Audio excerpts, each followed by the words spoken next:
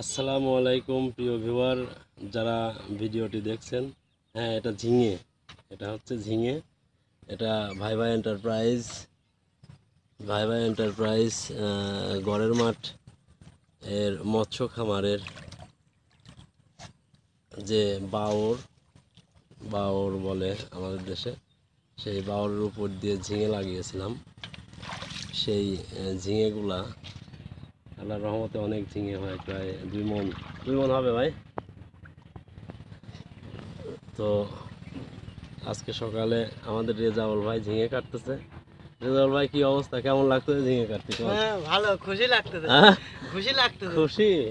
আল্লাহ দিনে এমনই দেয়। হ্যাঁ, খুশি লাগতেছে রেজাউল ভাই ঝিঙে কাটতে। তো মূলত যে বিষয়ে যে কারণে ভিডিওটি করা আসলে আমরা যারা বেকার সময় কাটায়, বেকার যুবক যারা, অনেকেরই পুকুর আছে। অনেকেরই পুকুর আছে, কিন্তু পুকুর পার আগাছা, ময়লা, আবর্জনায় ভর্তি থাকে। তো তাদের উদ্দেশ্যে বলব, যারা বেকার অবস্থায় ঘুরে বেড়ায়, তারা যদি শৌখিন অবস্থায়, শখ, শখের বশত যদি কিছু গাছ লাগায় হয়তো পাঁচ দশটা গাছ লাগালো, শখ, শখের বসে যে আমি এই গাছটা লাগিয়ে দেখি যে এর মধ্য থেকে কী অবস্থা হয় তাহলে তার খাদ্যের চাহিদা পূরণ করেও কিছু বাজারের বিক্রি করে লাভবান হওয়া সম্ভব। তো আমি এই ঝিঙেগুলো লাগিয়েছিলাম মূলত শখের বিষয় হিসেবেই তো আমার প্রজেক্টটা মোটামুটি চতুর্দিক দিয়েই তিন দিক সরি হ্যাঁ তিন দিক দিয়েই লাগানো ঝিঙে।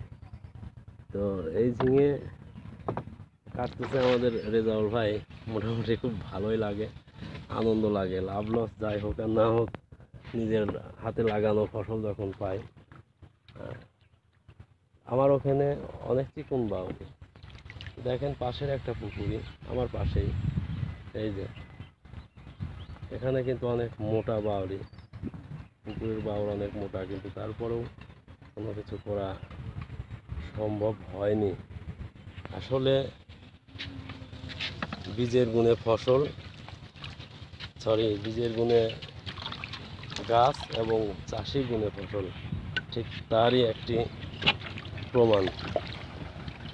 ঝিঙে ঝিঙে নৌকায় ভাসে নিয়ে যাচ্ছ না? সবার প্রতি